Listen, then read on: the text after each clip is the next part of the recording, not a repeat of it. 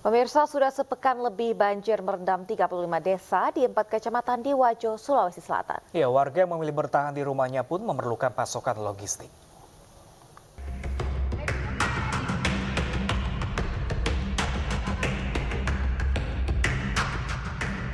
Ratusan paket sembako dan air bersih disalurkan untuk sejumlah korban terdampak banjir di Kelurahan Lailo, Kecamatan Tempe, Kabupaten Wajo.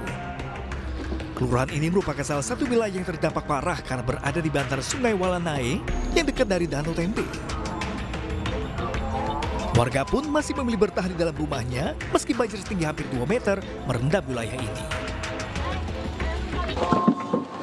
Tapi baru dua hari ini. Dua, dua hari. Nah, loncat langsung naik terus karena kiriman dari terima kasih Pak.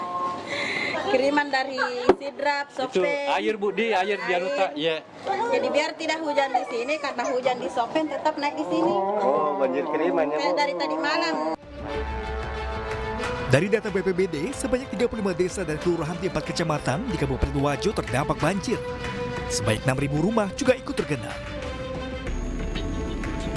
Uh, pada tanggal 45 terjadi lagi hujan lebat di wilayah Sungai Walenai dan Sungai Bilang yang menyebabkan terjadi banjir untuk daerah aliran Danau Tempe seperti Kecamatan Bilawa, Tanah Sitolo, Tempe, dan Sabamparo. Kondisi tahunan di Wajo ini terjadi karena banjir kiriman dari sejumlah kabupaten tetangga seperti Kabupaten Sopeng dan Sidrap yang menyebabkan danau tempe meluap. Dari Wajo, Sulawesi Selatan, Amir Sengkang, IQ melaporkan.